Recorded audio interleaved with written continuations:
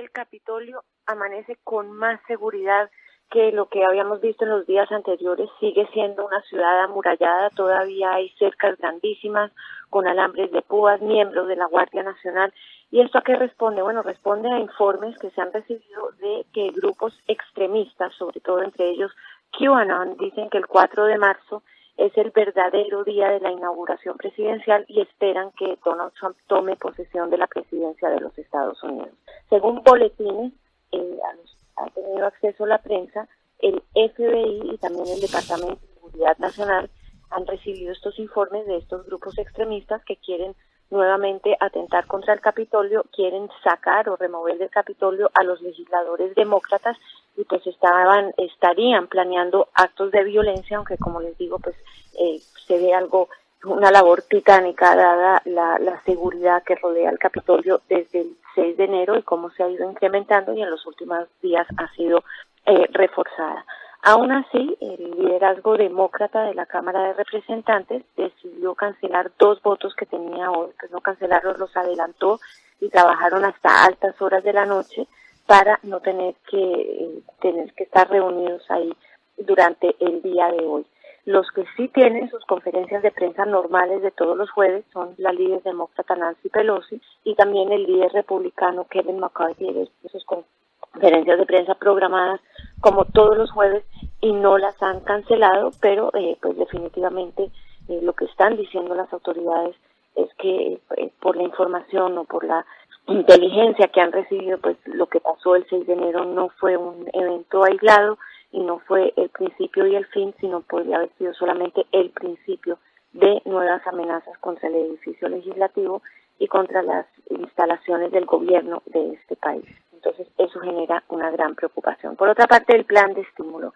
Son millones los estadounidenses que están esperando los cheques de 1.400 dólares que prometió el gobierno dentro de este plan de estímulo eh, impresionantemente grande de 1.9 billones de dólares el presidente Joe Biden está negociando y ayer la Casa Blanca pues confirmó que eh, está cediendo un poco ante el Congreso. Pero eso qué quiere decir? ¿Hay cheques o no hay cheques? Bueno, sí habría cheques, pero eh, se le dan a las personas que ganen hasta 75 mil dólares al año y a las parejas que ganen hasta 150 mil dólares al año. Los estímulos anteriores le había dado cheques menores a la gente a los individuos que llegaban hasta 100 mil y a las parejas que llegaban hasta 200 mil.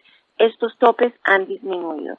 Entonces ahora los que ganen más de 80 mil y las parejas que ganen más de 160 mil no van a recibir un solo centavo.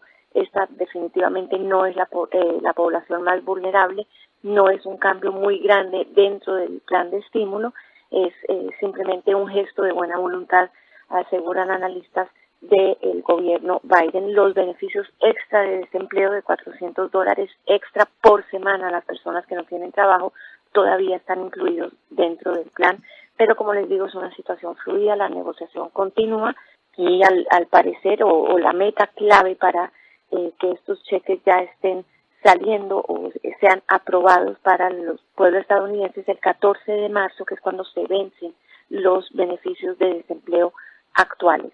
Todo este dinero, el presidente eh, Joe Biden eh, lo está pasando por una, por una medida o por una herramienta que se llama la reconciliación. Es como si fuera un presupuesto y entonces eso le permite saltarse los 60 votos que necesita, o sea, los 10 votos de apoyo republicano que necesitaría en el Senado. Se están saltando a los senadores. Para podérselo saltar, lo que sí se queda por fuera es el aumento en el sueldo mínimo federal a 15 dólares por hora. Eso es algo que tiene enfurecido a los demócratas, pero al parecer eso se.